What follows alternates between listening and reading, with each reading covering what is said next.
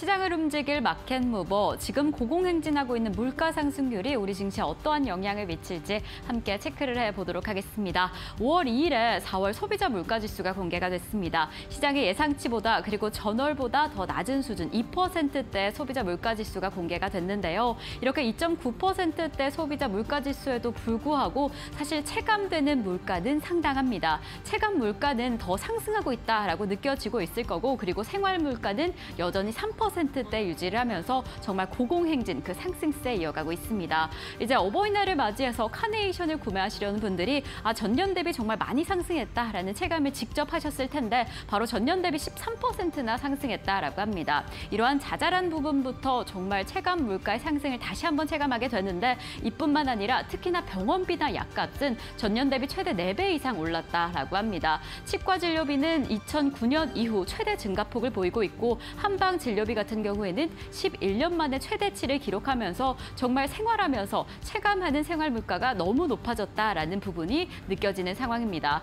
이 안에서 또 외식 물가가 큰 폭으로 상승을 하고 있습니다. 외식 물가 상승률 역시나 3%대를 기록하면서 정말 밖에서 뭘 사 먹기가 참 쉽지 않다라는 이야기 계속해서 나오고 있습니다. 이렇게 외식 물가가 상승하게 되면 이렇게 물가가 전반적으로 상승하게 되면 우리 시장에 쉽지 않을 수는 있지만 그럼에도 불구하고 수혜를 받게 되는 업종이 있다라고 합니다. 외식 물가 상승에는 내식 수요가 증가하게 돼서 바로 가공식품이 경쟁력을 갖게 된다라는 이야기가 나오고 있습니다. 최근에 뭐 계속해서 들리고 있는 가격 인상 이슈가 있습니다. 이 김판매 가격이 10%에서 30% 인상을 했다라는 이야기 전해지고요. 그리고 이 카카오 가격 그리고 초콜릿 가격을 가장 먼저 인상하겠다라고 밝힌 롯데 웰푸드도 하반기에 추가 가격 인상 계획이 있다라는 이야기까지 전했습니다. 이렇게 가공식품 관련주들이 이 가격을 인상하게 되면 매출이나 영업이익 당에서 실적이 증가할 수 있다라는 이야기가 나오고 있는데 우선 이렇게 소비자 물가지수가 상승을 하고 외식비 지출 전망이 크게 상승을 하게 되면 이에 함께 움직이는 게 바로 내식 수요의 증가입니다. 그래서 단연 이 내식 수요 관련 기업들 가공식품 관련주들이 이 하반기에는 더 큰 폭으로 상승할 수 있다. 경쟁력이 좀 있을 수 있다라는 이야기 나오고 있습니다.